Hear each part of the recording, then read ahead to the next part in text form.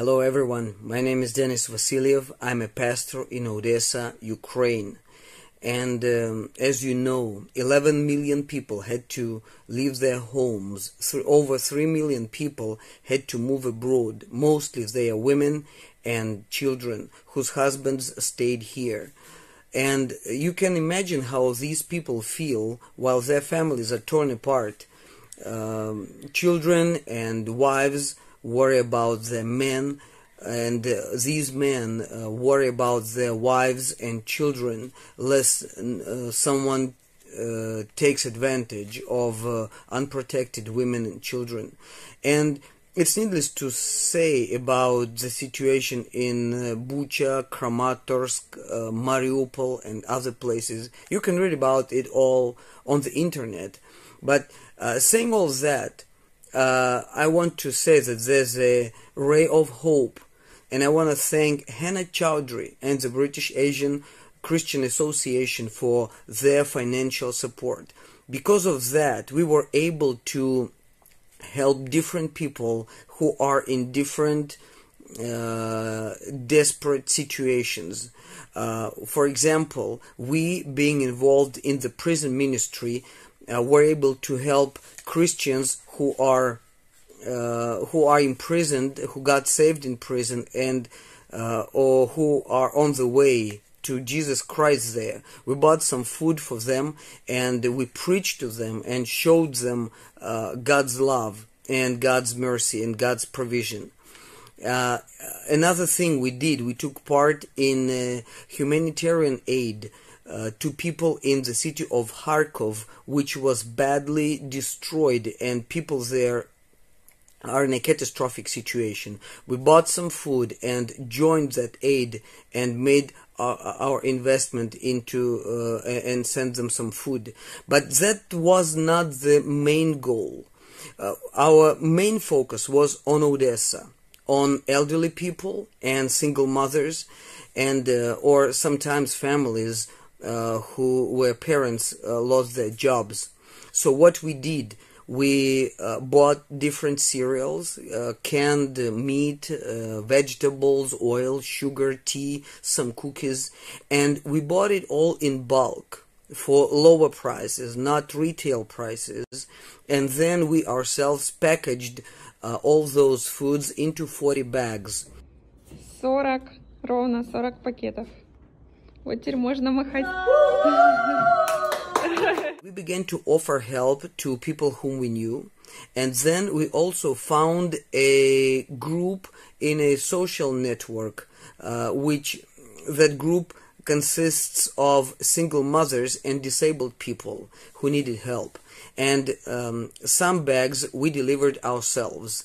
For example, one Christian lady who had a hip fracture and she lives in a home for elderly people, she couldn't read even the Bible because her glasses uh, broke long ago and she was so much help thankful to get both food and new glasses. But in order to speed up the process, we began to invite people to our church uh, place where we kept the bags.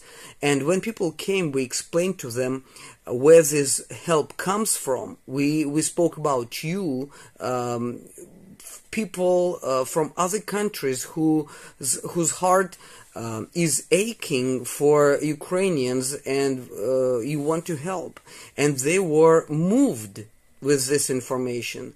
And we also told them that we are Christians and we uh, as as we uh, want to help them with food uh, God wants to help them to feed their souls.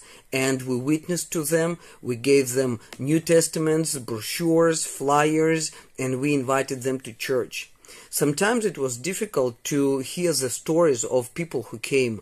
Uh, some ladies began to cry, some out of gratitude, others out of despair, because uh, such help uh, is the only thing they can count on. Спасибо вам большое за помощь. Огромнейшее спасибо. Без вас мы бы реально очень никто не выжил бы сейчас в это время. Все люди очень много помогают. Вам